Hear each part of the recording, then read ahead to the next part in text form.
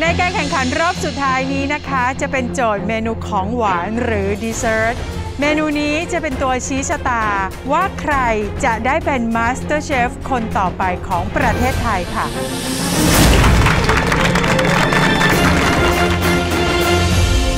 จิมมี่คะทำเมนูอะไรคะ ขนมนี้คือการเดินทางตอนสุดท้ายของจิมมี่ครับจิมมี่ทำลูกครึ่งระหว่างไทย อิตาลี จะทำ panna cottaมีลูกครึ่งขนมอินทนินโพชแพรบวกกับขนมตัวนออกกลางอีกอย่างหนึ่งครับผมชื่อจานว่าตอนจบและจุดเริ่มต้นครับ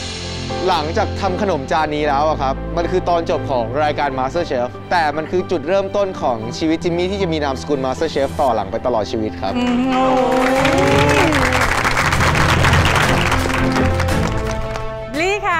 ค่ะลี่จะทำเมนูอะไรคะ จานสุดท้ายที่ลี่จะทำในรายการ Master Chef จะเป็นรักระยะสุดท้ายก็คือรักที่เขาจะต้องมาขอลี่แต่งงานค่ะขนมหวานจานนี้จะผสมผสานระหว่างยุโรปและขนมไทย และมีตัวหลักมูสข้าวโพดหวานย่างลี่เลือกใช้ข้าวโพด เพราะว่าข้าวโพดมันหวานโดยตัวของมันเองก็เหมือนความรักที่มันชุ่มชื่นหัวใจแล้วมันก็หวานในตัวของมันเองอยู่แล้วค่ะ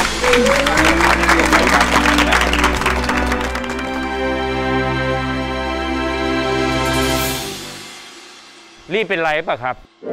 ไม่เป็นไรค่ะตอนนี้น้ำตาขึ้นนิดหน่อยค่ะเชฟเอียน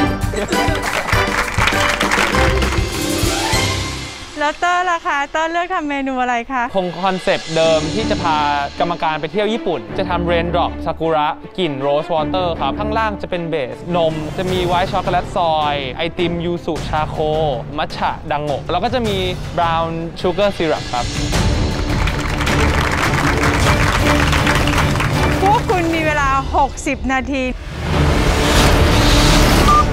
และเมนูนี้จะเป็นบทสรุปให้กับชีวิตของพวกคุณคนใดคนหนึ่ง ที่จะเปลี่ยนแปลงไปตลอดกาลถ้าพร้อมแล้ว เริ่มค่ะ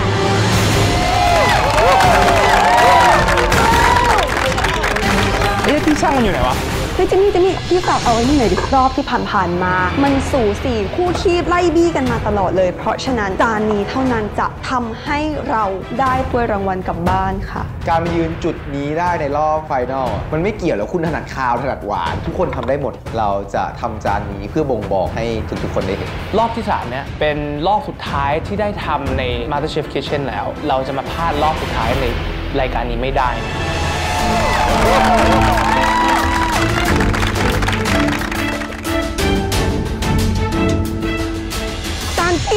มันเป็นความถนัดของลี่อยู่แล้วค่ะ วันนี้ลี่จะชนะด้วยทางรสชาติความคิดสร้างสรรค์ทุกอย่างที่ลี่กำลังจะใส่ลงไปในจานนี้ค่ะ มั่นใจว่าลี่ผสมผสานรสชาติที่แปลกใหม่ทำให้กรรมการประหลาดใจได้แน่ๆค่ะมาสเตอร์เชฟโชฟี่ต้องเป็นของเราแน่ๆค่ะ ไม่พลาดค่ะ ไม่มั่นใจว่าจานทีหนึ่1 ใครนำใครไปก่อนนะครับ แต่จานที่ 3 เราต้องมาแรงแน่นอน จะชนะด้วยความคิดสร้างสรรค์ของการเอาเมนูของนานาชาติมาทำครับ ไม่ว่าจะเป็นขนมตะวันออกกลาง ขนมไทยเวสเทิร์นครับผม มั่นใจกับจานนี้มาก ก็หวังว่าจะเป็นเราเนี่ยครับ เพราะจานเราก็เฟี้ยวใช่ย่อยครับ ทานไปแล้วสองจานดูยากมากๆว่าใครนำใครตามสูสีกันมากๆ จานที่ 3 กรรมการจะทึ่งกับสิ่งที่ผมทำเพราะว่าผมไม่ถนัดขนมหวานเลย ถ้าผมสามารถทำเมนูดีได้กรรมการจะว้าว จะทำให้กรรมการประทับใจแน่นอนครับ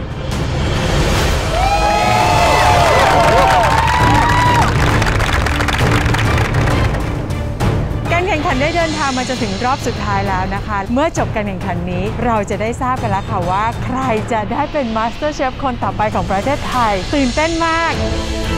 การแข่งขันในซีซั่นนี้นะครับ บททดสอบที่เขาได้เจอ ท้าทายฝีมือ และความสามารถของพวกเขามาก ๆ เลยครับ ทั้งงูเห่า การทำอาหารในป่าทำอาหารเสิร์ฟโต๊ะจีนในงานแต่งงาน ต้องยอมรับหัวใจในการเป็นนักสู้ของพวกเขาเลยครับ ที่ไม่เคยท้อถอย ไม่เคยยอมแพ้กับโจทย์ที่ยาก และน่าหวาดกลัว และถ้าเขาไม่สู้ เขาคงไม่กล้ามาถึงจุดนี้ได้อย่างแน่นอน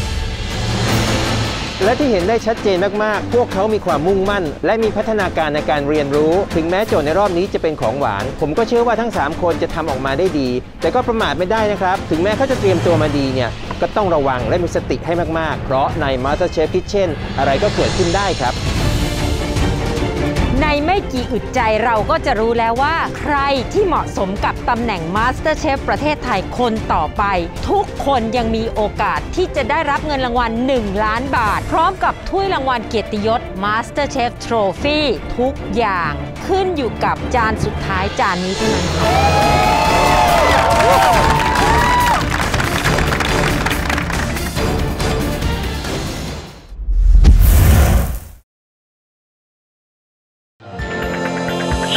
ค่ะ Haley Konya.